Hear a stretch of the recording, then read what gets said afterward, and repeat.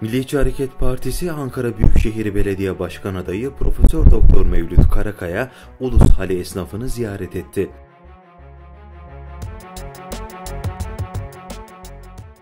Karakaya vatandaşlar ve esnafla sohbet etti.